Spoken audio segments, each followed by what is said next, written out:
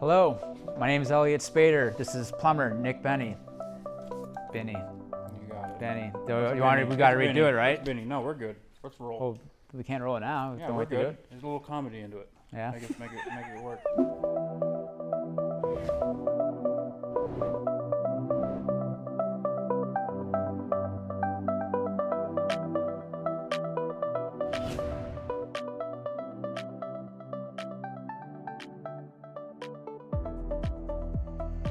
Hi, I'm Elliot Spaeder, William T. Spaeder Company. This is Nick Binney, plumber.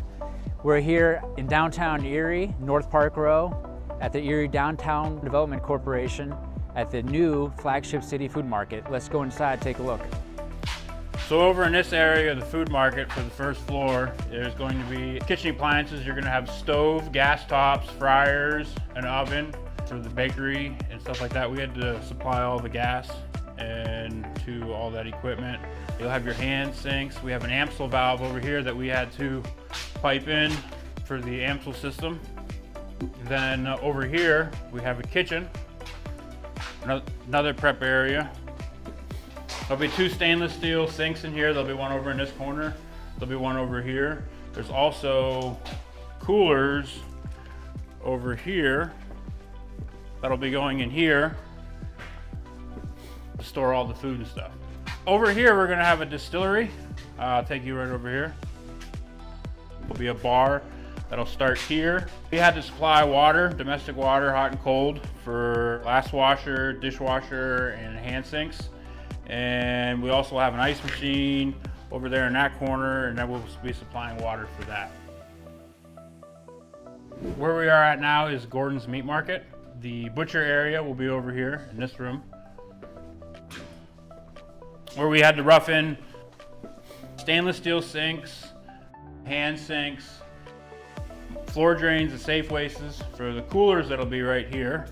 And we also have a stainless steel sink right, right here that we have roughed in.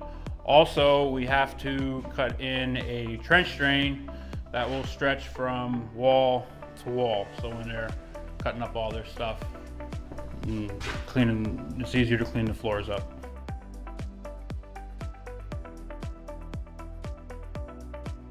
We're in the back of the flagship city food market. This back area here is a grocery store for the Whole Foods Co-op. We had some drains to rough in, we had some water lines to rough in. This space in about a few months will be filled with all coolers and freezers and all the food will be back here for the patrons to come in and, and purchase their foods.